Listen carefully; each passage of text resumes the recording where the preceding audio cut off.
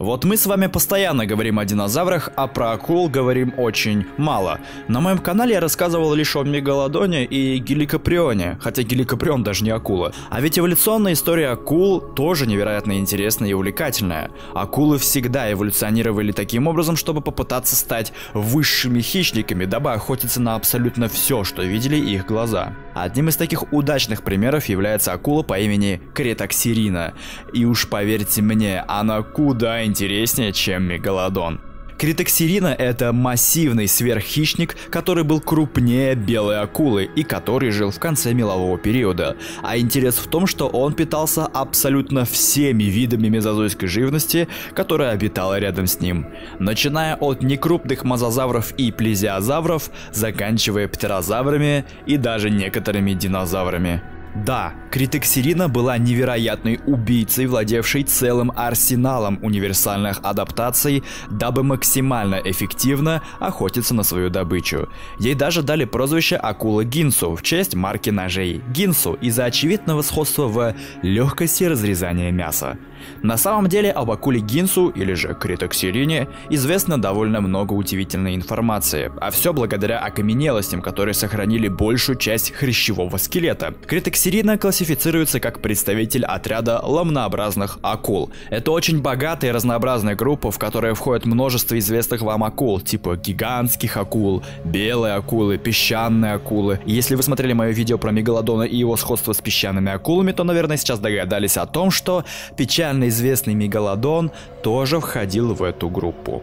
Род критоксерина считается единственным представителем своего семейства критоксериниды, а сама же содержит в себе четыре разных вида. И самое интересное то, что они могут быть примером так называемого хроновида. Хроновид – это набор видов, для которых выстроена ровная линия эволюции от одного палеовида к другому. Они как бы постепенно эволюционировали от одного своего вида к другому, то есть полная противоположность кладогенеза с ее вот этими вот ответвлениями. Самым алдовым видом критоксерина является вид враконенсис, который далее превращается в критоксерину дентикулату, а затем в критоксерину адасизенсис. И последний вид, самый неуфажный, это критоксерина мантелли, которая как раз таки самая изученная. Изменения, которые происходят между этими видами, очень легко проследить в их зубах, и действительно вроде бы похоже на хроновид. Как я уже и сказал, от критоксерина известны целые позвоночные позвоночные столбы и даже почти полные черепа. Однако тут не состыковка. Как мы знаем, скелеты акул состоят из хряща, а хрящ не каменеет. Так каким образом хрящевой позвоночник и череп, которые не каменеют, были найдены окаменевшими? Причина такой хорошей сохранности заключается в среде, в котором была похоронена акула Гинсу. Формация необара в Северной Америке, где и находят подобные окаменелости, состоит из мела, содержащей много кальция. И именно поэтому более мягкий хрящ там становится кальцинированным и каменеется большей вероятностью. И благодаря этим отличным захоронениям мы можем узнать кучу полезной информации об этой акуле. Например, средняя длина критоксерины составляет около 5-6 метров, средняя длина. А некоторые особо крупные экземпляры могли вырастать до 7-8 метров и весом почти в 5 тонн. Да, это крупнее большой белой акулы. И интерес в том, что форма тела акулы Гинсу напоминала белую акулу. А кстати, у мегалодона форма тела как раз таки не напоминала кек. Взглянем на череп. Голова критоксерины была довольно конической, с относительно тупой мордой, прямо как комменты под видосом с Индоминусом. Также у нее были большие окна для глаз, что говорит о том, что у нее было отличное зрение.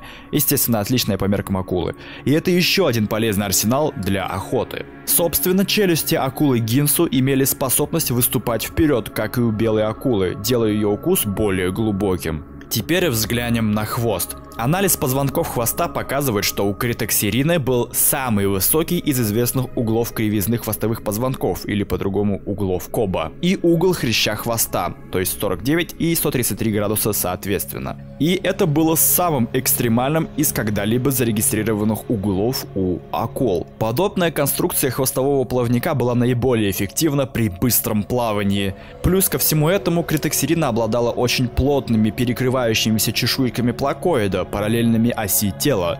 Такое образование чешуек позволяло ей эффективно снизить сопротивление воды и увеличить скоростные характеристики. Подобное мы можем наблюдать только у самых быстрых из известных нам акул. Таким образом, учитывая невероятный угол колба и чешуйки плакоиды, мы можем утверждать, что критоксерина была одной из самых быстрейших акул, которых знала наша планета. В исследовании 2017 года ученые смоделировали максимальную скорость критоксерины, и у них получилось 70 км в час.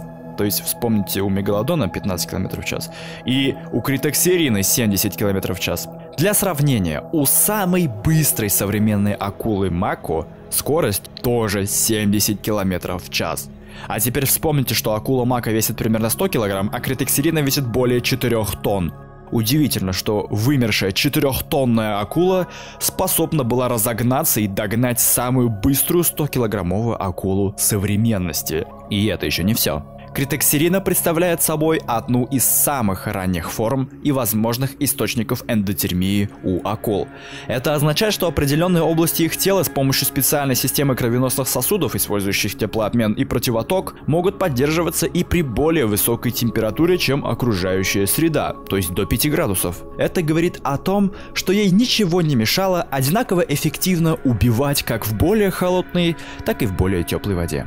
Вообще, следы укусов этой скоростной акулы-убийцы были зафиксированы на многих животных. Да, она питалась множеством видов животных, в том числе даже гигантской хищной рыбой ксифактиной, которая была более 5 метров в длину. Также следы укуса критоксерина есть и на некрупных мозазаврах, и даже со следами заживления. Что говорит о том, что акула Гинсу действительно нападала на них. Также укусы были обнаружены на черепахах, плезиозаврах и других акулах, и даже на динозаврах и птерозаврах. У нас есть следы укусов критоксины на позвоночнике гадрозавра, но вероятнее всего этого гадрозавра уже мертвого выбросило в море, где его и обглодала критоксерина. Однако не похожая ситуация была и с птеранодоном, у которого тоже нашли следы укусов.